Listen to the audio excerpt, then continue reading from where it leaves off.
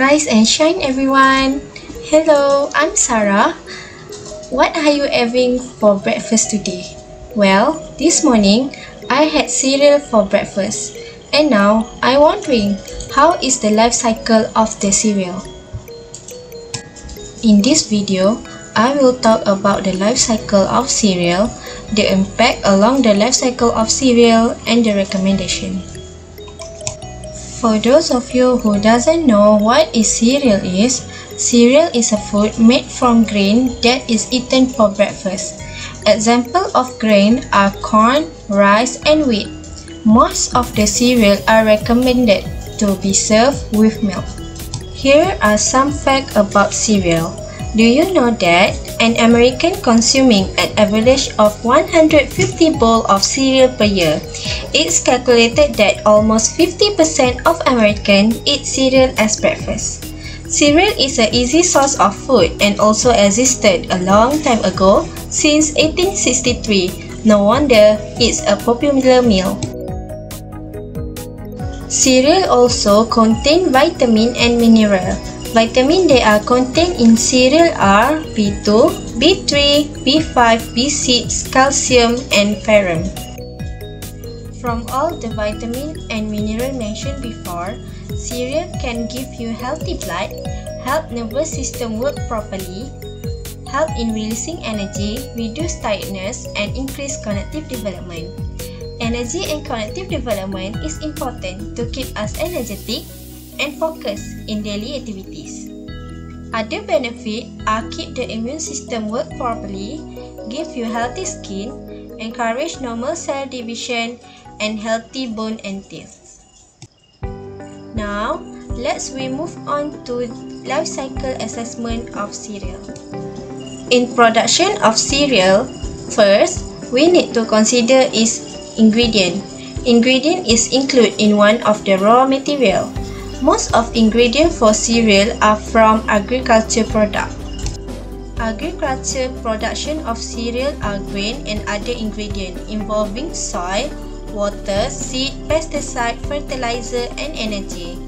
The top 5 ingredients of cereal are corn, cocoa, wheat, sugar, and rice. Most of the ingredients not produced in one place and imported from other parts of the world such as corn from Argentina, rice from Spain, Thailand, and Egypt. Wheat and its derivatives are sourced from the UK, Spain, and USA. Cocoa produced in Ivory of Coast, and sugar is imported from France, Germany, and Africa. Use of energy also involved in this production. Electrical energy involved in both agriculture and manufacture. Water also used for both watering the crop and also manufacture. The tra icon indicate the transportation used in transporting the ingredient, packaging material, product, and waste along the life cycle. The production of packaging material and packaging involve water, detergent, energy, and packaging. Next phase of life cycle is consumption. This is where us as consumer pick our favorite cereal from the store rack. Milk is also included in the life cycle of cereal because milk is in list for serving suggestion for most cereal. Last phase of life cycle is waste management. Waste management is involved in different life cycle stage. As cereal is popular among customers, it is estimated that cereal contribute to 40% to 50% of world food wastage.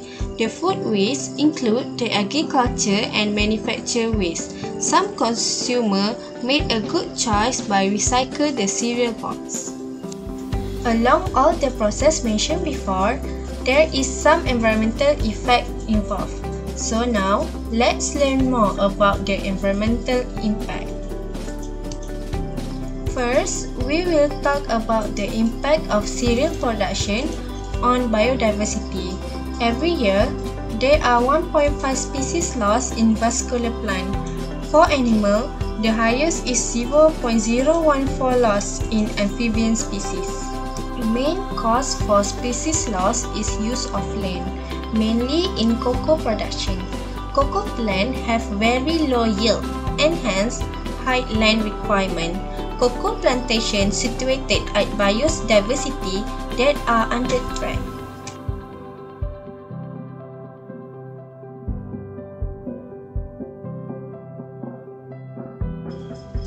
Now is about the impact of cereal production to ecosystem service. Loss of 0.53 metric tons biomass production which equivalent to 1.4 kg for every kg of cereal produced. About 20 kg of soil are lost per every 1 kg of cereal production due to erosion, total up to 7.8 metric tons per year. The next impact on ecosystem service is groundwater regeneration and water infiltration reduce. Main contributor for all this impact is also from production of cocoa, followed by rice, then wheat and lastly sugar. Lastly, we will talk about the impact from consumption of cereal. Most of the cereal are recommended on the packaging of the product to be served with 125 ml of milk plus 30 gram of cereal. Therefore, it's considered as additional impact to environment. Adding milk to cereal increased the biodiversity impact by 7% of reptile to 28% of birds. There are some recommendations that are listed to cater the environmental impact. First is by focusing on ecosystem in agriculture basis. Every food industry must work in hand with agriculture production to implement the method in reducing impact of agriculture to ecosystem. Next, the further development is needed to address biodiversity and development. We are already at the end of the video.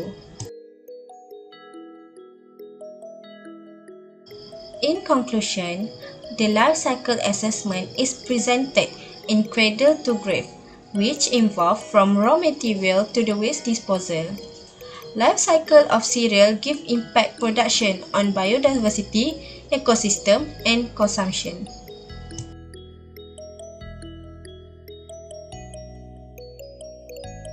To watch more video like this, don't forget to subscribe and click like and share the video to others. Let's learn together.